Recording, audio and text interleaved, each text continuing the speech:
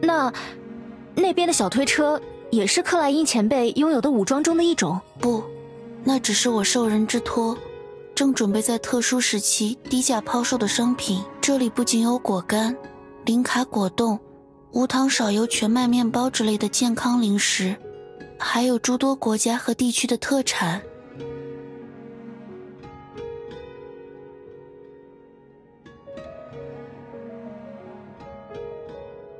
如果你们觉得价格合适，有一口气买下所有商品的意愿，我的委托人会非常感激。当然，为保障委托人的隐私，联系我或分发传单时，请务必避开牙医、幽兰戴尔和德丽莎主教出现的场合。我，我明白了。很好，那我就先走了，回见。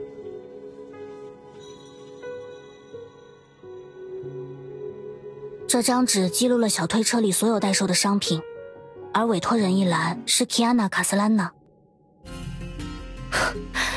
真没想到，我们的地球之神他居然这么喜欢吃小零食，还怕被战友们发现。克拉丽对 Kiana 的好感度已提升，当前好感度三十五分。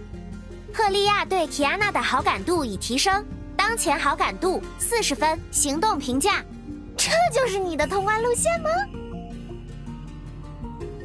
我不用太放在心上，我真的有好好吃饭。指正，这是人工智能系统根据监控录像还原的真实事件。我只是利用了心理学中的犯错误效应，甚至大幅美化了你那小推车里真正装着的、几近消失在时代浪潮中的健康食品。